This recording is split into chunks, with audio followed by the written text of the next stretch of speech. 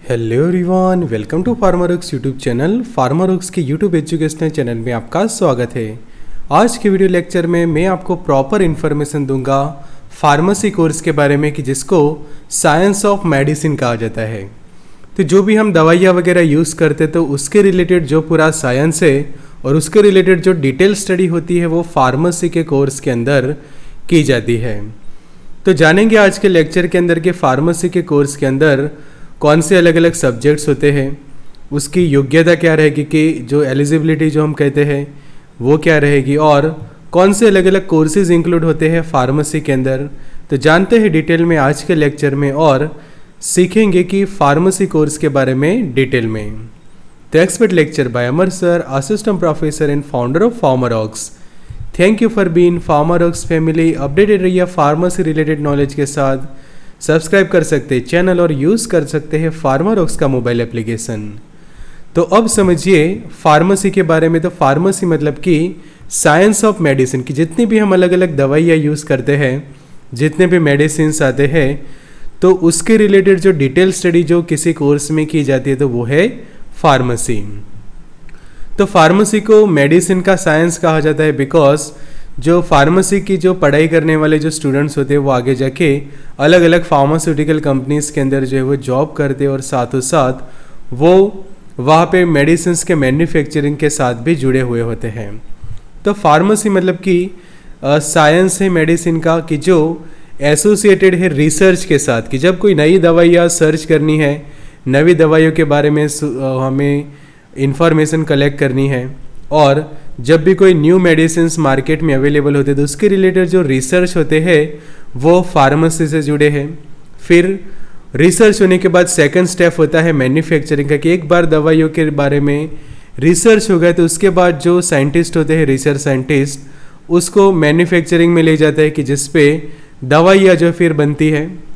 उसके बाद proper analysis की जो भी दवाइयाँ बनी है, उसको प्रॉपर चेक करना ज़रूरी है तो उसको एनालाइज किया जाता है।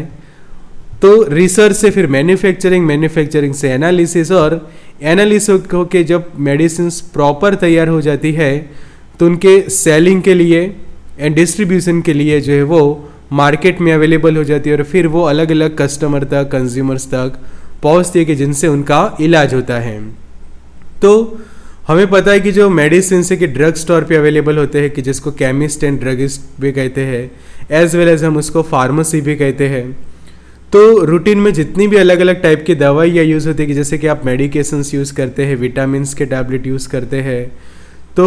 ये सभी जो है वो उनका रिसर्च से लेकर डिस्ट्रीब्यूशन तक का काम जो है वो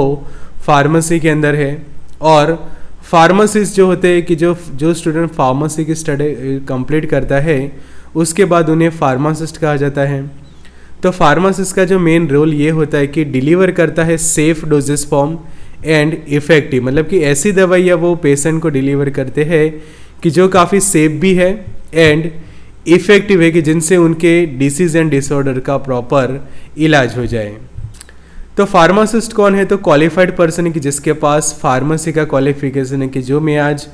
आपको बताने वाला हूँ कि जो फार्मेसी का जो कोर्स आप कंप्लीट करते हैं तो वो कोर्स कंप्लीट करने के बाद जो क्वालिफाइड पर्सन आप बनते हैं तो उनको कहा जाता है फार्मासिस्ट की जिसके पास डिग्री है या फिर डिप्लोमा इन फार्मेसी का क्वालिफिकेशन है कि चाहे आपने डिग्री फार्मेसी की है या फिर डिप्लोमा फार्मेसी और साथ ही साथ जो स्टेट फार्मेसी काउंसिलिंग होती है तो स्टेट फार्मेसी काउंसिल में से आप जो है वो रजिस्टर किए गए फार्मासिस्ट है और जिसके पास लाइसेंस होता है और साथ साथ नॉलेज होता है कि मेडिकेशंस को कैसे सेल करते हैं, किस तरह से उनका डिस्ट्रीब्यूशन करना है और कैसे ये मेडिसिन का मैन्युफैक्चरिंग होता है? तो प्रॉपर नॉलेज रहती है फार्मासिस्ट के पास ये मेडिसिन से रिलेटेड तो स्कोप के बारे में हम जाने तो फार्मेसी जो प्रोफेशन है और उसके बाद जो भी आपको क्वालिफिकेशंस मिलती है तो वो फार्मासिस्ट कहे जाते हैं। तो फार्मासिस्ट जो है वो बहुत सारे अलग अलग फार्मेसी के ब्रांचेस के अंदर अपना करियर जो है वो बना सकते हैं कि फार्मेसी प्रोफेशन के बहुत सारी अलग अलग ब्रांचेस है। तो ये कोर्स स्पेशली जो है वो डील करता है मेडिसिन के साथ। तो मेडिसिन से रिसर्च से लेकर उनके मैन्युफैक्चरिंग उनके सेलिंग डिस्ट्रीब्यूशन सभी के लिए फार्मासिस्ट का जो है वो इन्वॉल्वमेंट रहता है। तो बहुत सारे स्कोप रहते हैं करियर अपॉर्चुनिटीज़ रहती है फार्मासिस्ट की, कि वो मेडिसिन के मैन्युफैक्चरिंग के रिलेटेड भी काम कर सकते हैं, कि जो प्रोडक्शन होता है जब मेडिसिन का, उसमें भी वो काम कर सकते हैं। फिर मेडिसिन का डिस्पेंसिंग मतलब कि अलग अलग पेशेंट तक वो मेडिकेशंस का पहुंचाना, फिर उनके रिलेटेड प्रॉपर रिसर्च करना, उनको डेवलप करना, फिर, और टीचिंग प्रोफेशन में भी फार्मासिस्ट जो है वो काम कर सकते हैं एंड हेल्थ केयर प्रोफेशन के अंदर। तो जो भी फार्मेसी की पढ़ाई करते हैं तो उसके लिए बहुत सारे स्कोप रहते हैं। जैसे यहाँ पे हम ब्राइट करियर देखिए फार्मेसी का कि जिसको फार्मा ट्री कहा जाता है तो ये पूरा ट्री देखो और उसकी बहुत सारी ब्रांचेस जो है वो आप यहाँ पे देख सकते हैं कि फार्मासिस्ट जो है वो अपनी अपॉर्चुनिटी से अब्रॉड में भी बना सकते हैं कि मतलब कि आप आउट ऑफ़ इंडिया जाके भी अलग अलग कंट्री में सेटल होकर वहाँ पे एज अ फार्मासिस्ट काम कर सकते हैं। केमिस्ट शॉप भी आप ओपन कर सकते हैं कि जो दवाइयों का जो स्टोर होता है, वो भी आप ओपन कर सकते हैं। तो ये एक अपॉर्चुनिटी हो गई आउट ऑफ़ इंडिया की। केमिस्ट का शॉप ओपन कर सकते फिर गवर्नमेंट जॉब के तौर पे और गवर्नमेंट फार्मासिस्ट की पोस्ट पड़ती है ड्रग इंस्पेक्टर की है। तो बहुत सारी ऐसी गवर्नमेंट पोस्ट भी है फार्मेसी के रिलेटेड जहाँ पे फार्मेसी कंप्लीट किए हुए स्टूडेंट जो है अप्लाई करते हैं, फिर हॉस्पिटल के अंदर एज आप हॉस्पिटल फार्मासिस्ट भी काम कर सकते हैं मेडिसिन के प्रोडक्शन और मैन्युफैक्चरिंग में काम कर सकते हैं, उनके फॉर्मुलेशन एंड डेवलपमेंट रिलेटेड काम कर सकते हैं जो फार्मास्यूटिकल इंडस्ट्रीज़ के अंदर होते हैं, फिर मेडिसिन के analysis related quality assurance quality control जैसे भी आप काम में इन्वॉल्व हो सकते हैं, फिर ड्रग रेगुलेटरी अफेयर्स कि ये काफ़ी नई ब्रांच है मेडिसिन की कि जो रेगुलेटरी और मेडिसिन के रेगुलेशन से जुड़ी है। फिर रिसर्च करना और उनको डेवलप करना मेडिकेशंस को एकेडमिक मतलब कि टीचिंग प्रोफेशन में भी जा सकते हैं। फिर जो मार्केटिंग करना होता है मेडिसिन का कि कंपनी के अंदर जो मार्केट रिप्रेजेंटेटिव्स होते हैं, ये भी आपके लिए एक ऑप्शन रहता है। हायर स्टडीज़ भी आप कर सकते हो उसके अंदर और रेगुलेटरी बॉडीज़ में भी काम कर सकते कि जैसे आपने शायद नाम सुना हो कि U S F D A करके होता है रेगुलेटरी एजेंसी कि जो मेडिसिन को अप्रूवल करने का, उनके इंस्पेक्शन से रिलेटेड काम करता है। तो ऐसे हर एक कंट्री की अपनी रेगुलेटरी बॉडीज होती है तो उसमें भी फार्मेसी के जो स्टूडेंट है, वो आगे जाके जो है वो वर्क कर सकते हैं। वहाँ पे भी उनके जॉब की अपॉर्चुनिटीज़ रहती है। कम्युनिटी फार्मेसी के तौर पे आप जो है वो सोसाइटी के अंदर कम्युनिटी फार्मासिस्ट के तौर पे हॉस्पिटल फार्मासिस्ट के तौर पे काम कर सकते हैं। फिर जो पैकेजिंग टेक्नोलॉजी होती है कि जो भी मेडिसिन तैयार होती है, उनको अच्छे से पैक करना ज़रूरी है। तो वो भी एक स्कोप रहता है फार्मेसी के स्टूडेंट्स के लिए। तो यहाँ पे आप देखो कि बहुत सारी वेल नोन फार्मास्यूटिकल कंपनीज़ है कि जिसके अंदर फार्मेसी करने के बाद जो है वो आप जॉब कर सकते हैं। जैसे कि आप यहाँ पे देख रहे हैं कि well known pharmaceutical company Pfizer देख सकते हैं जाइडस का लॉगो देख सकते हैं सन फार्मा है जाइडस कैडिला है, फिर रेनबेक्सी है। और सीपला है तो ऐसे बहुत सारे pharmaceutical companies Cadila pharmaceutical Johnson and Johnson Intas है एच सी एल है एबोट है मैनकाइंड है। तो यहाँ पे जितने भी अलग अलग लॉगोज आप देख रहे हैं, ये सभी इतनी वेल नोन फार्मास्यूटिकल कंपनीज़ है कि जिसके अंदर जो है वो आप जॉब कर सकते जैसे कि ग्लेनमार्क यहाँ पे आप देखो जी है, फिर नोवाटिस एक बहुत ही वेल नोन फार्मास्यूटिकल ये कंपनी है। तो फार्मेसी के अंदर एडमिशन कौन ले सकता है? तो जिन स्टूडेंट्स ने ट्वेल्थ साइंस किया हुआ है, और ट्वेल्थ साइंस के अंदर उनका फिजिक्स था, या फिर केमिस्ट्री था बायोलॉजी था, या फिर मैथमेटिक्स तीनों चारों जो सब्जेक्ट है कि आपका ग्रुप चाहे फिजिक्स केमिस्ट्री एंड बायोलॉजी वाला था, या फिर फिजिक्स केमिस्ट्री या फिर मैथ्स था, या फिर आपने दोनों रखे थे बायोलॉजी भी था और मैथ्स भी था तो ये सभी स्टूडेंट्स जो है वो एलिजिबल बनते हैं फार्मेसी के कोर्स के अंदर एडमिशन लेने के लिए, और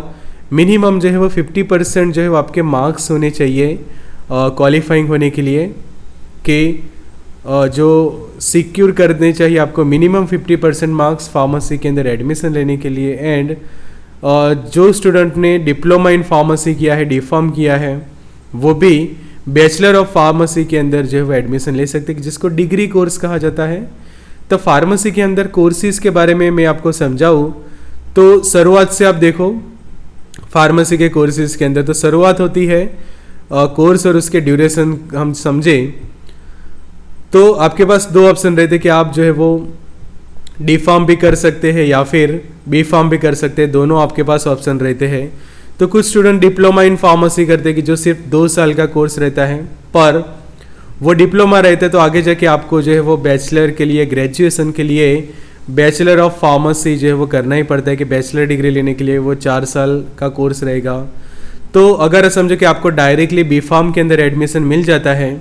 तो वो ज़्यादा बेटर है कि डायरेक्टली आप बैचलर ही करें कि जिससे आपके जो है वो डिप्लोमा के दो साल जो है वो बच सकते हैं। फिर बी फॉर्म जैसे ही आपका कंप्लीट होता है, आप जो है उसमें मास्टर डिग्री ले सकते हैं कि जिसको एम फॉर्म कहा जाता है। तो बी फॉर्म के बाद एम फार्म जो है वो दो साल का रहता है और उसके बाद जो है वो एम फॉर्म के बाद भी समझे कि आपको हायर स्टडी करनी है फार्मेसी के अंदर ही तो आप जो है वो पीएचडी कर सकते हैं फार्मेसी के अंदर की, जो यूजुअली तीन से लेकर पाँच साल के अंदर जो है वो कंप्लीट होता है। तो डिप्लोमा की हम बात करें तो फिजिक्स केमिस्ट्री बायोलॉजी या फिर फिजिक्स केमिस्ट्री मैथ्स था आपका। दो इयर्स का ये कोर्स ड्यूरेशन रहता है एंड ये समझो कि आप कोर्स कंप्लीट कर लेते हैं डिप्लोमा इन फार्मेसी का तो उसके बाद जो आपको डिग्री मिलती है उसको कहा जाता है डी फार्म कि आपने डी फार्म किया है या फिर डी फार्मा कहा, किया है तो डी फार्म कहे जाते हैं या फिर डिप्लोमा इन फार्मेसी है आप, और ये कोर्स करने के बाद भी आप रजिस्टर फार्मासिस्ट बन सकते तो अगर आपका गोल इतना है कि आपको सिर्फ़ फार्मासिस्ट के तौर पे काम करना है या फिर आपको जो है वो मेडिकल स्टोर ओपन करना है तो डिप्लोमा इन फार्मेसी की स्टडी जो है वो इनफ रहती है कि जो दो साल की होती है, फिर आगे समझे कि आपको समझे कि ग्रेजुएशन करना है तो उसके बाद सेकंड ऑप्शन रहता है। तो वो भी मैं आपको बताता तो डिप्लोमा फार्मेसी करने के बाद आप जो है वो मेडिकल स्टोर अपना खोल सकते हैं और अगर आप गवर्नमेंट फार्मासिस्ट के लिए अप्लाई करते हैं गवर्नमेंट जॉब के लिए तो उस वक्त आपको टू इयर्स का एक्सपीरियंस लगेगा कि आपने मेडिसिन का डिस्पेंसिंग किया हुआ है। किसी भी गवर्नमेंट या फिर नॉन गवर्नमेंट इंस्टीट्यूशंस के अंदर या फिर कोई भी ऐसे हॉस्पिटल के अंदर आपने दो साल एज अ फार्मासिस्ट काम किया होना चाहिए, तब आप एलिजिबल बनते हैं अगर कोई गवर्नमेंट पोस्ट के लिए अप्लाई करते हैं। तो ये होगा डी फार्म का क्वालिफिकेशन की जिसको डिप्लोमा इन फार्मेसी कहा जाता है। आगे जो है वो बैचलर डिग्री मतलब कि ग्रेजुएशन तो डायरेक्टली ट्वेल्थ के बाद आप ग्रेजुएशन के लिए भी ले सकते हैं एडमिशन कि अगर आपको डायरेक्टली बैचलर ऑफ़ फार्मेसी के अंदर एडमिशन मिल जाता है तो बेटर है कि आप बी फार्म में ही एडमिशन लें। कि बी फार्म का जो हम कोर्स ड्यूरेशन देखें तो वो रहता है चार साल का रहता है और सेमिस्टर पैटर्न हो तो टोटल एट सेमिस्टर जो है वो आपको क्लियर करने पड़ते हैं और एट सेमिस्टर कंप्लीट करने के बाद आपको जो क्वालिफिकेशन दिया जाता है, वो कहा जाता है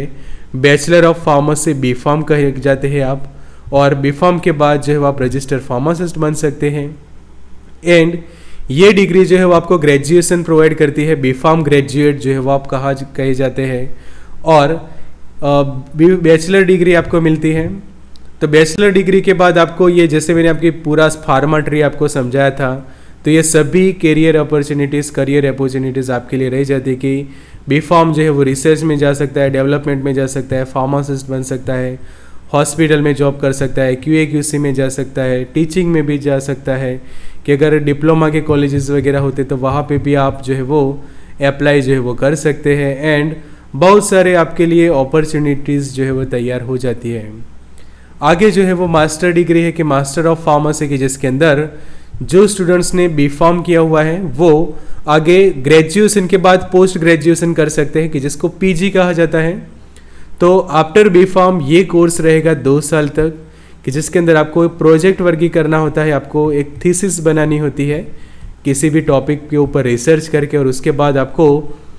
पीजी कोर्स की जो है वो मास्टर डिग्री मिलती है जिसके बाद आप master in pharmacy M pharm कहे जाते हैं। और